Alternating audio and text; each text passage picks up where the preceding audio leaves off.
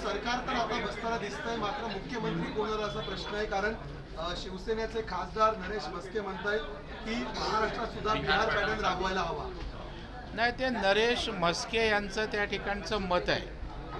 मला वाटत नाही ती त्यांची पक्षाची भूमिका असेल.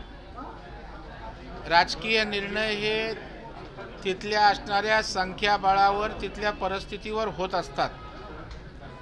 ज्या वेळेला शिंदेसाहेब या राज्याचे मुख्यमंत्री झाले त्यावेळेला भारतीय जनता पार्टीचं संख्याबळ जास्त होतं. परंतु त्यावेळेला असणाऱ्या सरकारला बदलणं आवश्यक होतं. त्याच्यामुळं संख्याबळाचा विचार त्या ठिकाणी झाला नाही.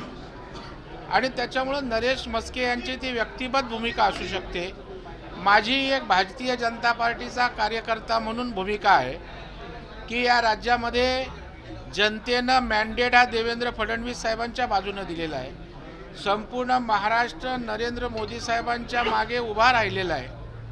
आणि अशा वेळेला भारतीय जनता पार्टीच्या कार्यकर्त्याची इच्छा आहे माझी इच्छा आहे तशा प्रकारचं सुतोवाच आमच्या प्रदेशाध्यक्षांनी केलं आहे की देवेंद्र फडणवीस साहेब या राज्याचे मुख्यमंत्री झाले पाहिजेत. याचं कारण या राज्याला एक अभ्यासू कुशल अशा नेतृत्वाची गरज आहे.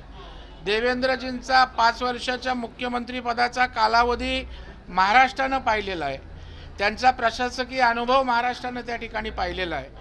आणि महायुतीचं सरकार चालवण्याचं कौशल्य आज त्यांच्याकडे निश्चितच त्या ठिकाणी मोठं आहे. कारण निवडणुका लढवत असताना तिन्ही पक्षाला एकत्रित ठेवणं सगळ्या पक्षांना त्या ठिकाणी जागा वाटपात प्रसंगी एखादं पाऊल मागे घेणं अगदी एखादा उमेदवार नसला तरी मित्रपक्षांना उमेदवार देणं आणि त्याच्यामुळे संयत नेतृत्व आहे. समन्वयाची एक वेगळी अशा प्रकारची त्यांची भूमिका नेम नेहमी असते. त्याच्यामुळं महायुतीला अशा प्रकारचा एक चांगला कोऑर्डिनेटर नेता हवा आहे त्याशिवाय राज्यातल्या जनतेची इच्छा आहे. राज्यातल्या जनतेच्या मनातही या ठिकाणी महाराष्ट्राचं सखोल ज्ञान असणारा कारण आदरणीय पवारसाहेबांनंतर या महाराष्ट्राची नीट माहिती असणारा जर तरुण नेता कोण असेल तर ते देवेंद्र फडणवीस साहेब. प्रशासनाला मंत्रालय त्याही ठिकाणी वाटतं की या ठिकाणी एक प्रशासकीय एक वकूब असणारा नेता देवेंद्रजी आहेत. त्याच्यामुळे सर्वार्थानं महाराष्ट्राच्या हितासाठी त्यांच्या नेतृत्वाची गरज आहे. आणि मोदी साहेबांचा आशीर्वाद घेऊन केंद्र सरकारचं पाठबळ घेऊन ते महाराष्ट्राला त्या ठिकाणी प्रगतीकडे नेऊ शकतात. या देशाला दिशा देणारा महाराष्ट्र उभा करू शकतात. Sir sir sir sir sir अ, सबकी निगाहें अब उस व्यक्ति के चेहरे पर है कि मुख्यमंत्री कौन बनेगा। अ, एकनाथ शिंदे की ओर से किसी का जो नाम चल रहा है एकनाथ शिंदे का उनके लोग कह रहे हैं। किस तरह के नेतृत्व नहीं चुनाव का माहौल रहता है तभी इसी तरह का माहौल रहता है। हर पार्टी के कार्यकर्ताओं को नेताओं को लगता है कि अपना प्रमुख नेता इस राज्य का प्रमुख हो। वो पार्टी की भूमिका है कार्यकर्ता की भूमिका है।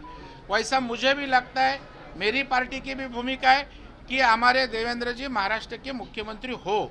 लेकिन महायुति का मुख्यमंत्री होगा तीनों पार्टी में समन्वय होकर मुख्यमंत्री होगा और हमारा केंद्रीय नेतृत्व इस विषय पर आखिर सिक्का शिक्कामोर्तब और तय करेगी। जो अनुभव है मुख्यमंत्री बतौर मुख्यमंत्री देवेंद्र फडणवीस बहुत बड़ा है और स्टेबल गवर्नमेंट उन्होंने पाँच साल निश्चित तौर पर देवेंद्र जी ने पाँच साल इस राज्य को एक ऊंचाई पर लेके गए तीनों पार्टी का समन्वय कैसा रखना, उन्होंने ये महायुति का सरकार चला के दिखाया है और इसलिए महाराष्ट्र को देवेंद्र जी की ज़रूरत है, पार्टी को ज़रूरत है, महायुति को ज़रूरत है।